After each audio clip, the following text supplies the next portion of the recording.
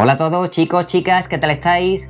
Bienvenidos a un nuevo vídeo aquí en el canal, en Interfaz Coleccionista, y hoy, acompañado de esta caja, retomo el tema de los unboxings que nos traía uno desde hace ya bastante tiempo con aquella edición rara de Soul Link para PC. Y bueno, por la miniatura del vídeo ya sabéis el juego que es, una novedad, Resident Evil 2 Remake para PlayStation 4, pero esta vez la edición de coleccionista japonesa. Los que me seguís en el canal sabéis que os traje un vídeo con las distintas ediciones que se pondrían a la venta, aquella famosa con la máquina de escribir, que estaba en Amazon más barata, ya sabéis, etcétera. Pues bueno, yo no tuve la oportunidad de hacerme con la que nos llegó aquí a España, me quedé fuera y no la conseguí. Y bueno, tras investigar en internet, sigue a la venta en Amazon, en eBay, 400, 450, 500, 600 euros, reventa, ya sabéis a lo que me refiero. Y me dije, bueno, ¿por qué no hincarle el diente a la versión japonesa? Pero la que no trae la máquina de escribir. Y esa es precisamente la que vamos a ver aquí a continuación.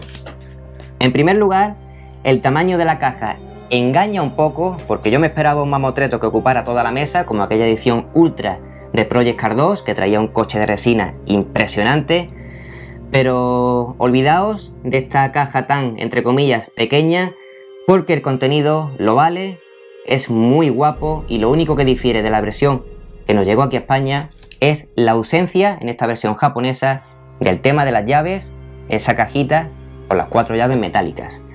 Pero que eso no quita para que de aquí a X tiempo suene la flauta y la edición que nos llegó aquí se ponga a su precio correcto en eBay o similares y yo me piense, pues bueno, el volver a pagar por ella, aunque solo sea por el tema de las llaves. Así que gente, Vamos con la intro y vamos a ver el contenido que nos depara esta versión japonesa.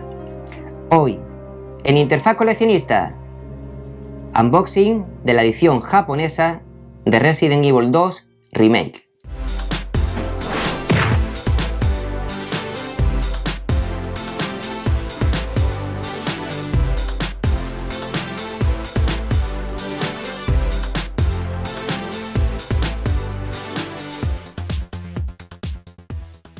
Bueno chicos, pues empezamos el unboxing de hoy con esta caja que ya como veis en forma de baúl del propio juego, muy chula. Y ahora vamos a dar paso al cambio de, plano para que lo veáis todo más detenidamente. Fijaos más o menos para que os hagáis una idea del tamaño del baúl.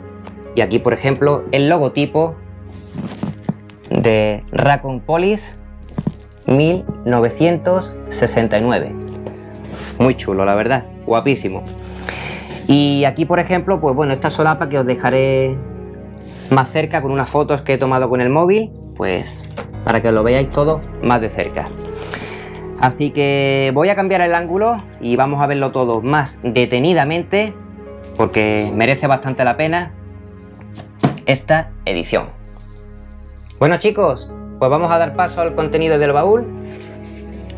Y lo primero que nos encontramos, nada más abrirlo, es la edición de PlayStation 4. La copia del mismo juego. Y bueno, esta vez llamada Biohazard Resident Evil 2 Z versión. Donde lo de Z versión indica que es una versión censurada.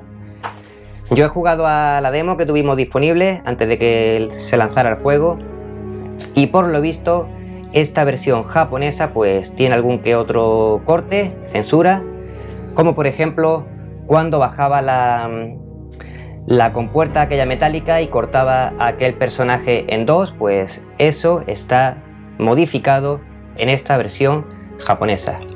De todos modos, yo creo que esta versión la voy a dejar para coleccionar y me haré con la de Xbox One, pues para jugarla. Y sobre todo, en Xbox One porque más adelante quiero hacerme con una Xbox One X y por la mejora gráfica pues prefiero hacerme con esa edición. La portada, como ya podéis ver, pues difiere de la que nos llegó aquí a España, más concretamente esta que vemos aquí en miniatura, pero que está muy pero que muy guapa también esta portada. Aquí ya en la contraportada pues podemos ver a, a Claire, a Leon, y algún que otro personaje, pues ya conocido por todos vosotros. Esto es el juego en sí. Justamente debajo del mismo tenemos esta especie que, como de postalita o panfleto, como queramos llamarlo, que no le voy a dar la vuelta porque detrás lo que viene es un código DLC pues para descargar contenido exclusivo para esta edición. Postal como veis con el logo de Raccoon Police 1969, el mismo logo que acabamos de ver en la parte superior del baúl. Bueno, pasamos ya a contenido de mayor importancia y empezamos con el mapa. El mapa que vaya tela porque esto es una auténtica maravilla. A ver si os dejo fotos porque esto no sé si lo voy a poder mostrar todo así. Más o menos. Fijaos qué cosa más impresionante. Increíble. De todas formas os, dejaré una foto del mismo completamente. Y en la parte trasera pues tenemos, como podéis ver, el mapa de la comisaría. Y aquí justamente en la esquina pues tenemos esta dedicatoria pues también en el propio mapa en sí, guapísimo. La parte superior del mismo.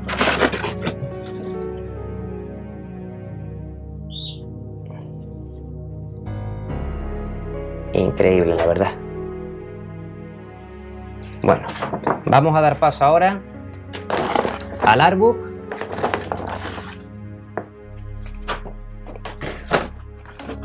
que también contiene contenido muy chulo, sobre todo con el tema de la banda sonora. Bueno, justamente debajo del mapa tenemos ya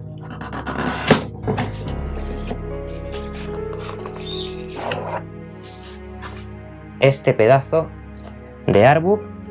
Fijaos el grosor, tapa dura Y aquí pues bueno, con este esta pegatina, con, esto aquí marcado de esta información es top secret, guapísimo, un código de barras en la parte superior izquierda y pues uno de los mejores artbooks de los que yo tengo en toda mi colección. Bueno, aquí vemos ya el número de archivo, espero que se vea bien, sí. Y empezamos ya pues con estos recortes de periódico, imágenes del propio juego en sí, la famosa máquina de escribir,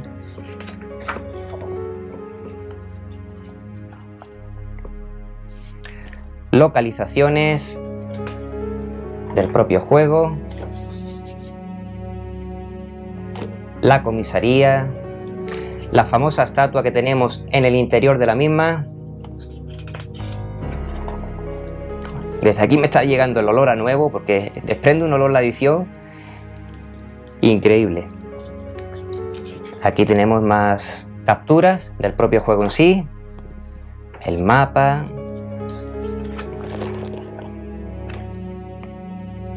Aquí vemos ya, por ejemplo, lo que os acabo de mostrar,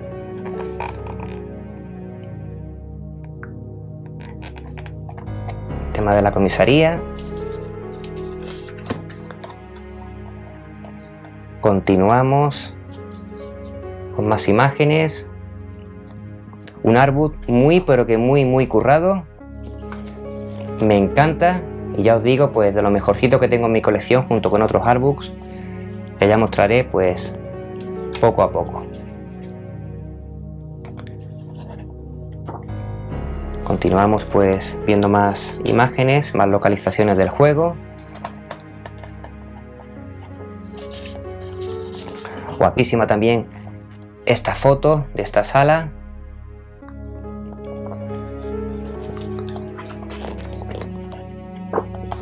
Y un juego, la verdad, que más allá de la demo, no lo he jugado más. No he visto ningún gameplay o partida completa porque quiero hacerme el juego pues lo menos informado posible, aunque se trate de un remake, pues alguna que otra novedad durante el juego habrá. Y no solamente pues la espectacularidad gráfica que, tiene. Ahí vemos más imágenes. Y ahora pues vamos a dar paso a lo más guapo de este artbook, que no es otra cosa que el CD con la banda sonora, la cual, espero que se vea bien, está aquí marcado como soundtrack.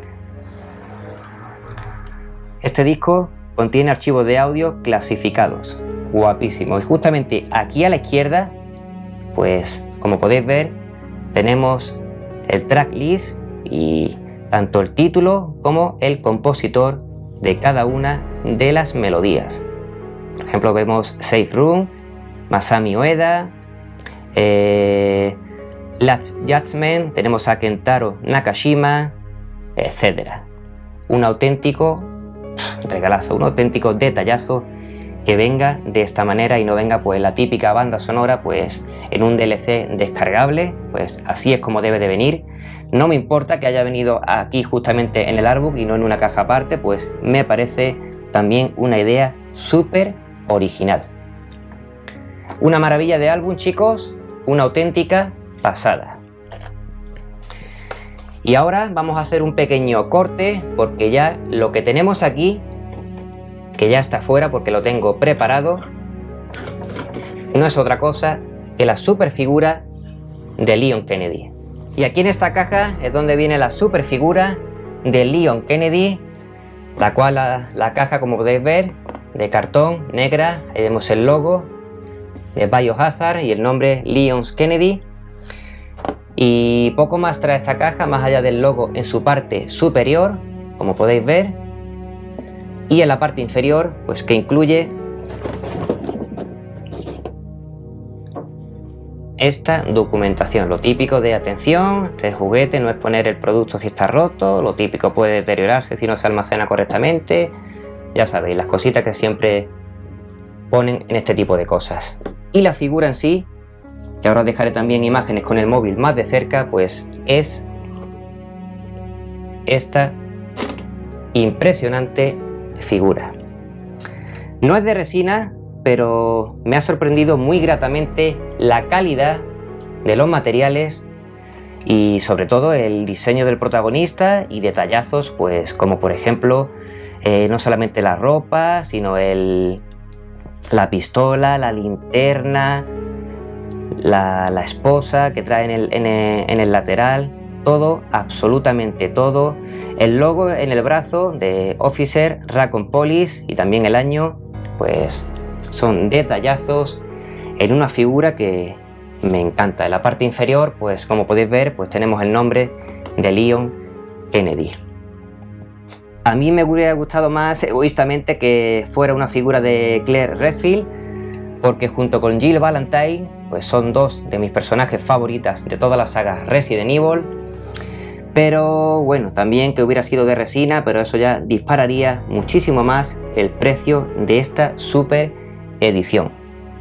Edición que ha hecho en falta el tema de las llaves, nada más, y por lo demás pues no hay absolutamente nada que objetar a esta maravillosa edición Biohazard 2 Z versión, esta vez en edición japonesa.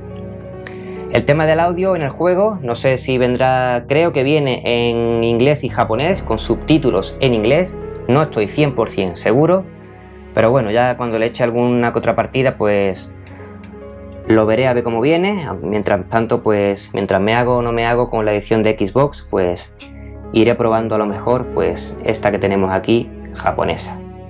Bueno chicos, pues con esto finalizamos este super unboxing de hoy con esta edición que me tiene maravillado de Biohazard 2 Z versión edición de coleccionista japonesa.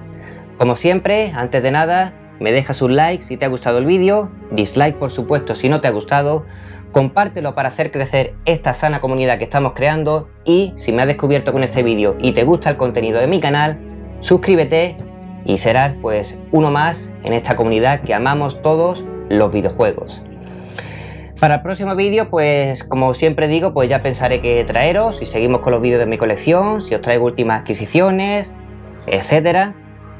Poco a poco iremos retomando también el tema de los unboxings, con lo que tengo aquí y con lo que tengo pendiente también de recibir, que ya sabéis que si son juegos o ediciones normalitas, pues van a últimas adquisiciones y si considero que se merece un vídeo en concreto como esta edición, pues os lo traigo en unboxings. Precisamente para los que seáis fans de Metal Gear Solid, tengo pendiente de recibir una edición que, vamos, es una auténtica maravilla y voy a dedicarle un vídeo en específico a esa edición. Y por otro lado, estoy en vísperas de conseguir una super edición de Resident Evil. No puedo deciros ni para qué sistema ni nada, porque tampoco quiero, como se suele decir, romper la magia, pero es algo que va a tardar. Pero bueno, lo veremos por aquí y los que visteis en su día aquel famoso unboxing del maletín en el cual pues mostraba un recopilatorio de Resident Evil para PlayStation 1, si esa edición os pareció guapa, pues la que estoy en espera de poder conseguir, pues poco o nada tiene que envidiarle a esa maravilla de edición. Si la consigo, por supuesto que traeré un vídeo en específico para esa edición. Así que gente, poco más, que voy a ver lo que me depara este remake en PlayStation 4, voy a disfrutar de él y por lo demás, pasad un muy buen fin de semana, jugad mucho, portaos bien y nos seguimos viendo como es habitual por aquí por el canal. Os mando un saludo gente y un fortísimo abrazo.